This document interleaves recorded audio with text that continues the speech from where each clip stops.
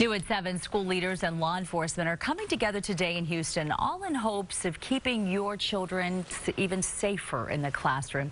It's called School Safety Summit 2017. Joining this morning to talk more about that is E. Comet Burley, the director of the Harris County Department of Education Center for Safe and Secure Schools. Good morning to you. Thanks for being here. Well, thanks for having me. Well, Glad I think here. that there's nothing better than feeling secure about our children. So tell me what's going on here. Well, this is our second annual Summit. It's a collaborative effort between Crime Stoppers of Houston and the Center for Safe and Secure School at Harris County Department of Education. And it's been an overwhelming response from the citizens here and educators and law enforcement officers. We're coming together today to talk about topics that relate to how we can keep our learning environment safe for kids. So what are some of the goals? Obviously, keep them safe, but what are some different things that you're looking at that we can improve on? Sure. First of all, the the theme for the summit is I pledge to keep my schools safe. We're going to be talking about human trafficking, which is a big issue, knowing that Houston is a hub now for human trafficking, restorative uh, discipline practices so that we can reduce the number of kids who are being put out of school for disciplinary reasons.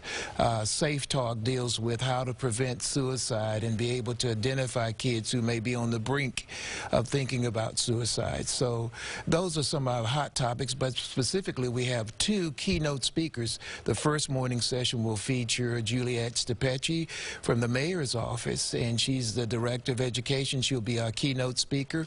We'll have two breakout sessions after that, and so the participants are in for a great informative day. And you know, when I think about safety of schools, and I just think because they're so high profile, our school shootings, while it's very Yes. rare because they are so high profile, it's always in the back of a parent's mind, I think. Will there be talk about that as well and just how to make sure that our schools are super secure? Yes, absolutely. Our schools will be, they'll be talking about how to deal with active shooter.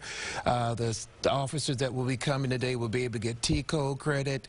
Uh, they'll be talking about run, hide, fight, and those kinds of issues. So it's going to cover a wide array of topics today. You mentioned suicide. What about bullying, which Mm-hmm. is, it seems to be the precursor of suicide? It is. It's a big issue today, and uh, particularly with the media, social media, a lot of issues are cropping up with social media, and, and that being kind of a precursor to students thinking about suicide or having thoughts of suicide.